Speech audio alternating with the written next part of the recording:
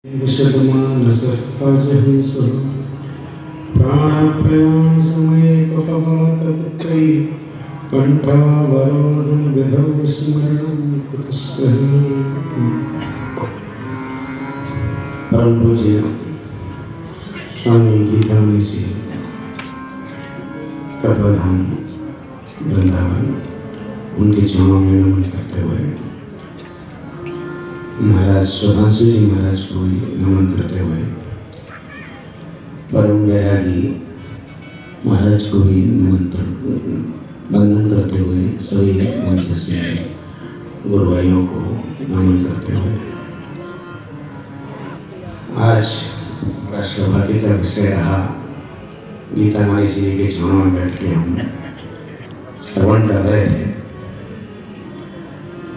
वैसे समय भी बहुत कम मिला है। सबसे अच्छा तो हमें सार ये निकल के दे, दिया महाराज श्री ने।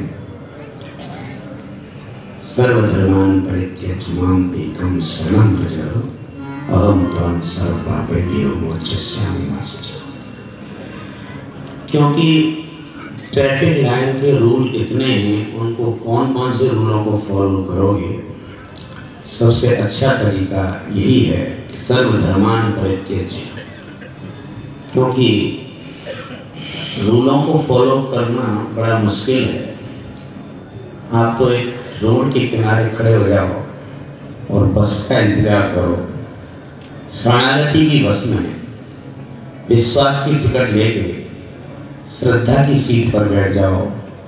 फिर आप किधर भी देखो, अखबार पढ़ो, चाहे लेट जाओ, आप अपने गंतव्य स्थान पर पहुँच जाओगे।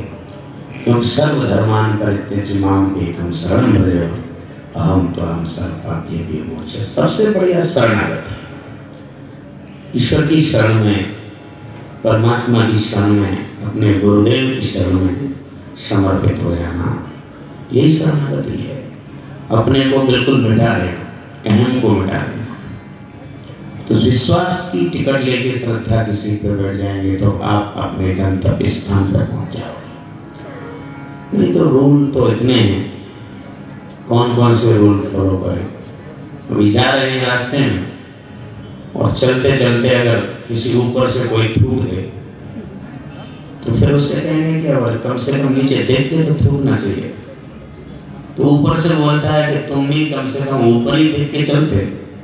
उसने कहा, अगर हम ऊपर देख के चलते तो ये गनीमत रही, कि वो सर पे ही नहीं तो मुँह भी पड़ता तो ऐसे ऐसे रूल हैं कौन कौन से रूल फॉलो करें, केवल सबसे बढ़िया है शरणागति।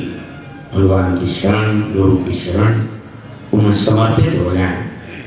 इसी से हम अपने गंतव्य स्थान पर पहुँच सकते हैं।